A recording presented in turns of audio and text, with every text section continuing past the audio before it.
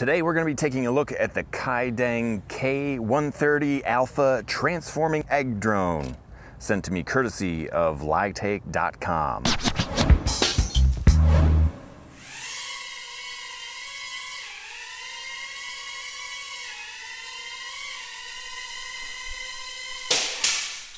So I wish I had better things to say about the K130 egg flying egg transforming egg drone here, but I really just was not a huge fan of this guy. It is an app controlled novelty quad and basically that's the, the draw to this is the novelty and this is the cool part. It's shaped like an egg and you know it's sort of unsuspecting at first here and you fold all the arms down. It's in the exact shape of an egg, about the same size of an egg, and then you push this button here, and the arms come out with the props on them. And that's cool, and I feel like that's where the coolness of this quad kind of stops, because it does not fly so well. It's mostly meant to be an indoor flyer, I think, but it's really hard to fly indoors. I've tried flying this in my house, and my house is rather small, so maybe if you have a bigger house, you might have better luck with it, but it's kind of hard to control. It doesn't really hover all that great. And it's just it just doesn't fly well. I don't know I don't know how else to say it. it. doesn't fly all that well. Maybe I do have the just the very basic version that comes with literally just the quadcopter and the charging cable and a full set of spare props. And there is a version out there that comes with a transmitter so maybe you might have better luck with the version with the transmitter. I'm not a huge fan of app controlled quadcopters as it is, but I have flown a few that are definitely flyable and more flyable than this.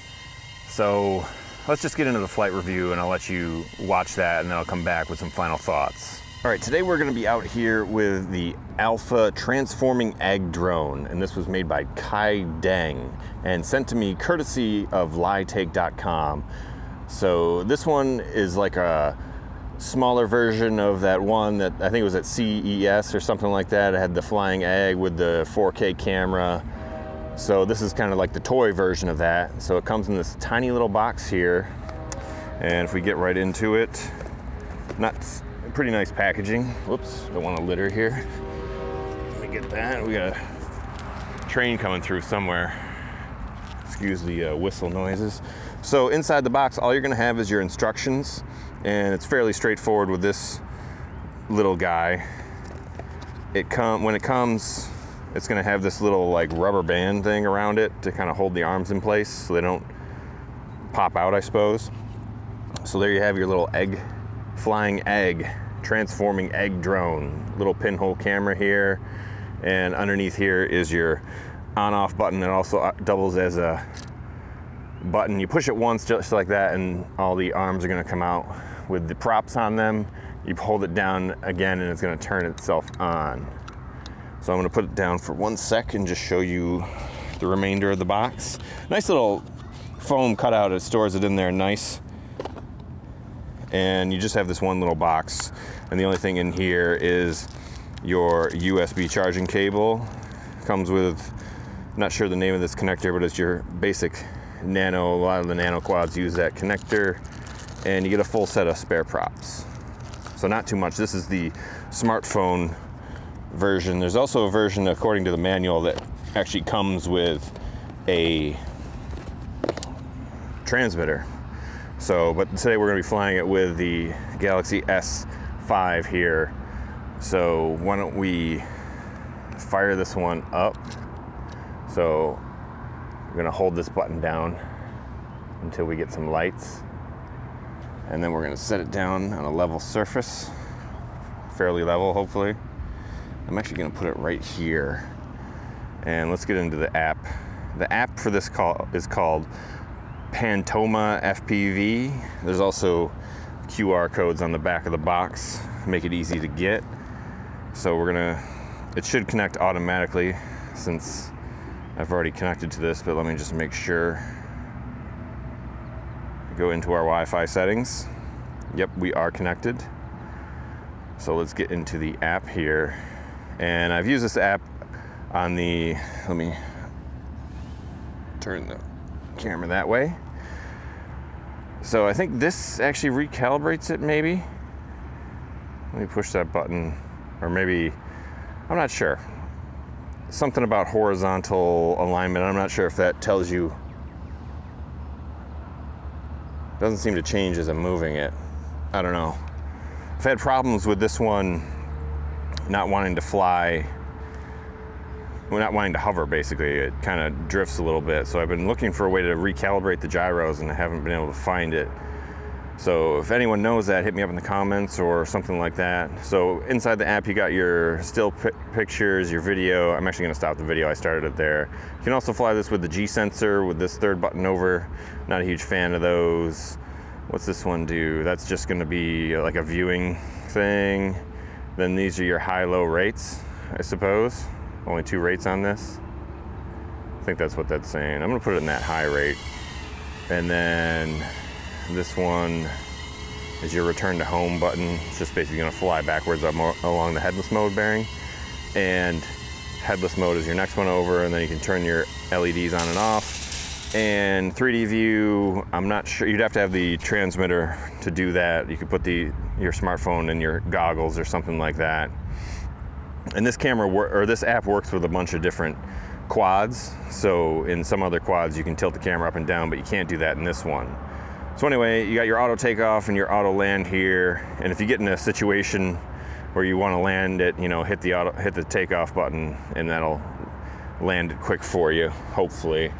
So let's see what we can do here with the Kaideng flying egg drone. There's a sentence I never thought I'd really say. So let's go up and you hit the takeoff button. It's just gonna basically fire up your props there. I don't know if you can see them spinning. And then you gotta physically use your sticks to take it off on your app. And most of you will know I'm not a huge fan of flying app controlled quads. But this one seems to work okay.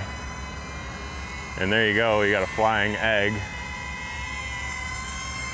A little bit difficult to control it with the app. See if we can bring it back towards us.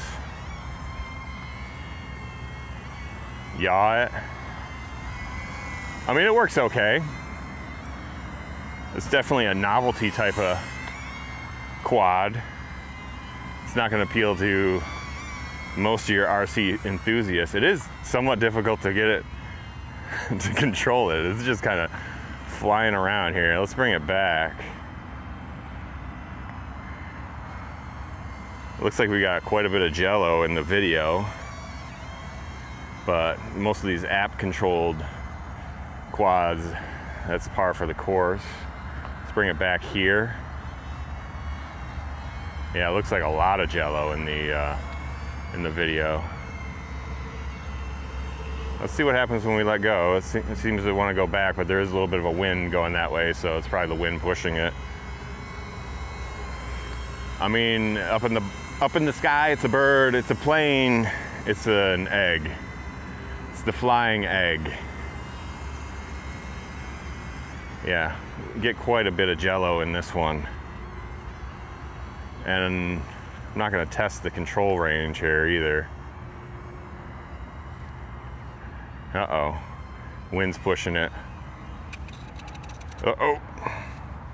So I kind of landed it there because I got a little scared that the uh, we're gonna go into the house over here. Picked up a little bit of wind there. Are we flashing here? We might be. Is that the end of our battery? Pretty short battery life if it was. Let's give it one more one more try here. See what happens we are still recording. So it's been recording for 238 right now. So that was an extremely short flight time if that was the flight time. Yeah, I mean, we got flashing lights inside of there. So let's let's power it down. Actually, let me stop my video. Stop the video and let's just see if we can start this up again.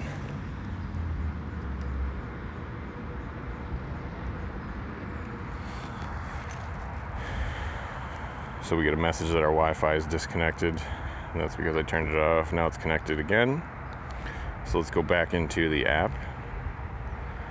And I'm not sure whether or not we're gonna so it seems like it turns red when it goes in the higher the higher rate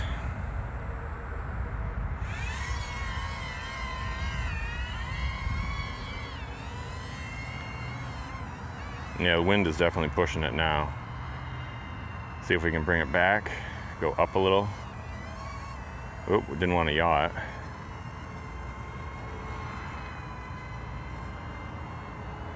So let's see if we can bring it over here. Come here, Mr. Egg. Flying egg drone. I mean, it is pretty cool watching it float around. So let's give it a little hover test. Hands off there. It's getting blown around a little bit here. Let's bring it towards me.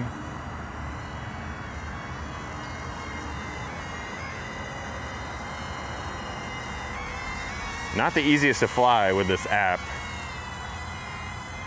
but I think that's gonna depend a little bit on your how much practice you put in and things of that nature. Now we got a wind coming. Really seems to be pushing it. See if we can bring it back towards me. And let's let it hover. Wind's pushing it back a little bit. This is mostly going to be an indoor flyer for you. It doesn't have super powerful motors and it's super light, so any sort of wind is just going to push this thing around. But I got to be honest with you, right now it's not flying half bad. It has altitude hold and all that.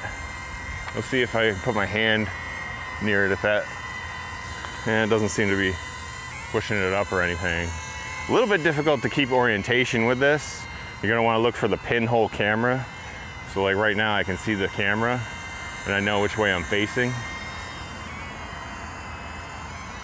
And fairly responsive with the app. You just gotta make sure you got a good tactile hold with the uh, sticks. Like I feel like I lose, see it's happening again here where I'm gonna land it. It's over the fence now, let me land it. Where are you going, Mr. Egg? You're not landing when you're flying down the street.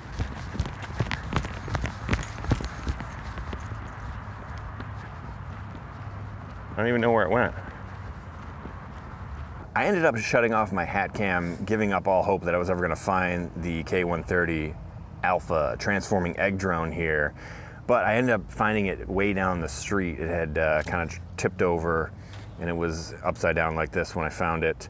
And I was lucky to find it, I believe, because it just kind of flew away on me. Not sure if that was a legit flyaway or if the battery was so low that it, the wind was just taking it or a combination of the two.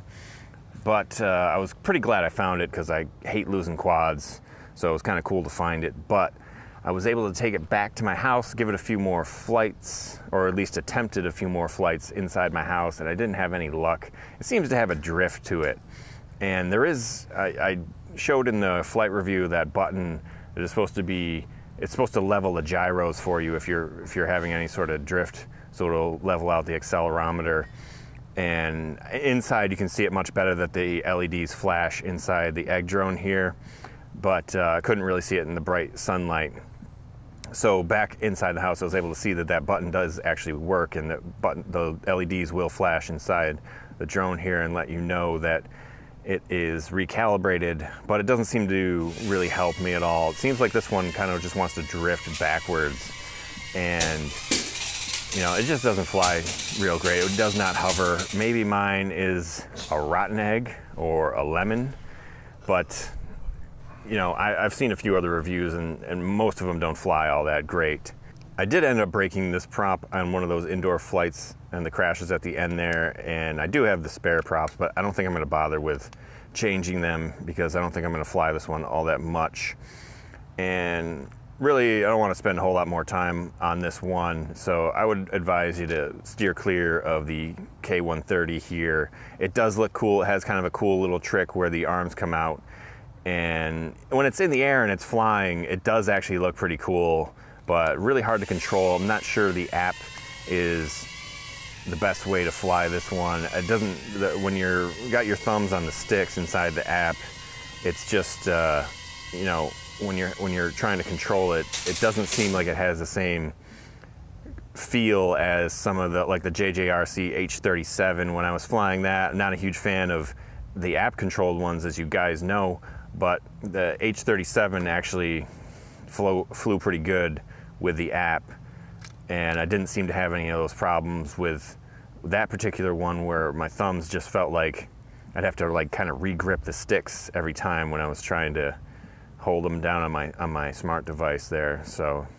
I would uh, steer clear of the K130 here unless you really, really are into flying eggs or really, really into novelty drones. Or maybe if you wanted to get the version that comes with the actual transmitter, I think that would be much easier to control. And maybe you'd have a much better flight experience. So I guess that's all I'm gonna have for you guys with the K130 Alpha Transforming Egg Drone from Kaideng. I did have the uh, K80, I believe it was, from Kaideng, and I really like that one, so I don't know. Just, uh, I guess they kind of laid an egg with this one, if you will. anyway, guys, that's all for today. I'm not even going to leave you with any flight video because I don't really have any of this one and don't really want to fly it again. Not sure if I was going to fly it outside if I'd get it back. So there you go. Hope to see you in the next video, guys.